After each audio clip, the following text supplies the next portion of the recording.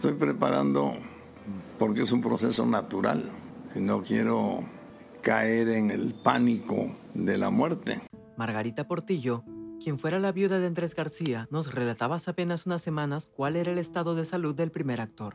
Está delicado porque pues, ha, ha, este, adelgazado y se va debilitando poco a poco, que es un proceso. Pero Andrés ya nos había regalado unas últimas palabras antes de que nos dijera adiós. Y me dice pues que, que esto es hasta que, que Dios quiera, ¿verdad? Este 4 de abril se reportó su partida a los 81 años, luego de vivir varios años con cirrosis y presentar malestares de salud que le dificultaban la movilidad y lo mantenían con constantes recaídas. Me pusieron para sacarme la sangre cuatro o cinco piquetes buscando las venas. Aunque si bien no se ha revelado la causa de la muerte oficial, la desmejoría que presentaba su cuerpo era muy notoria. El día luego es, si me llevan a cremar, conseguimos una lanchita y la incendiamos ahí conmigo.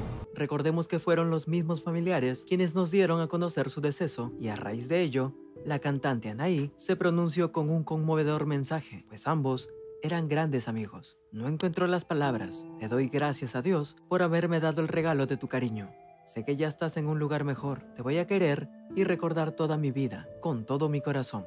Mi adorado Andrés escribió. El actor de grandes películas como Pedro Navajas, El Macho Bionic y Tintorera también participó en varias telenovelas como El privilegio de amar, Ana del aire, Velo de novia, Escándalo, Mujeres engañadas, El cuerpo del deseo, entre otras. Pero su vida amorosa también se dio mucho de qué hablar, pues se casó varias veces. Sandra Vale se convirtió en su primera esposa en 1967, pero al cabo de seis años de matrimonio y dos hijos, Andrés García Jr. y Leonardo García dieron por terminado su matrimonio.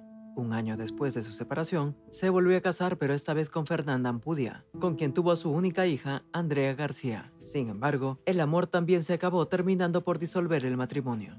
La tercera esposa de Andrés García fue Sonia Infante, sobrina de Pedro Infante. Ambos se dieron el sí en 1980 y aunque parecía que por fin el actor había sentado cabeza, anunciaron su separación tres años después. Y como azar del destino, 12 años después, coincidió con Margarita Portillo, su última esposa, la pareja que lo acompañaría hasta el final de sus días. Eso sí, también pasaron por altibajos porque a mediados del año 2020, el mismo Andrés reveló que se había separado de ella. Sin embargo, al término de un año de su separación, retomaron su vida juntos. Margarita se convirtió en su soporte, su sostén y su fortaleza para que lograra una pronta recuperación, misma de la que no volvió a ver la luz. Por cierto, antes de irme, te invito a que te enteres cómo Adamari López arremete contra Piqué. Aquí te lo dejo.